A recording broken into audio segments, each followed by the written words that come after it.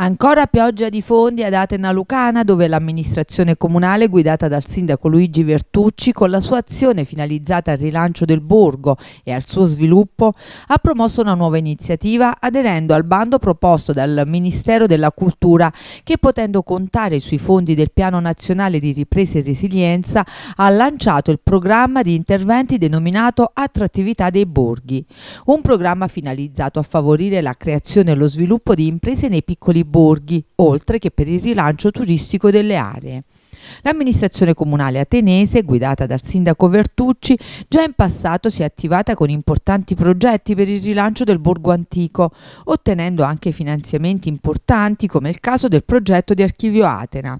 Adesso si è aggiunta l'ulteriore iniziativa rivolta esclusivamente alle imprese interessate ad investire nel suggestivo borgo, a cui il Ministero della Cultura lo scorso 10 maggio ha riconosciuto le risorse con apposito decreto.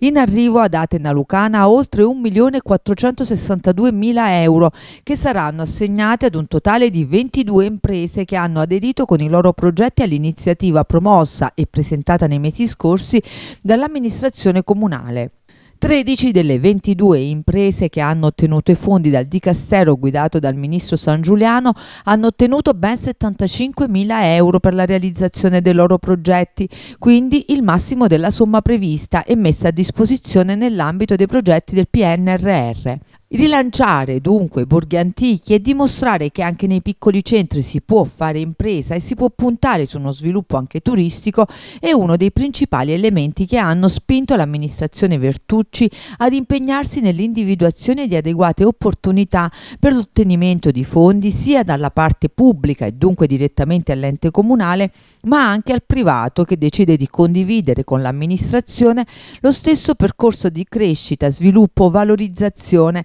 credendo nelle potenzialità offerte da un'area ancora incontaminata e dall'enorme potenziale capace anche di dar vita ad un turismo sostenibile che si sta avviando ad essere sempre più ricercato ed apprezzato. Grande l'orgoglio del sindaco Luigi Vertucci nel poter prendere visione della graduatoria pubblicata sul sito del Ministero della Cultura anche per la partecipazione che le imprese del territorio hanno riservato all'iniziativa, dimostrando dunque di credere nel valore del piccolo centro valdianese e di condividere l'idea di investire impegno e risorse sul piccolo borgo per guardare al futuro con ottimismo.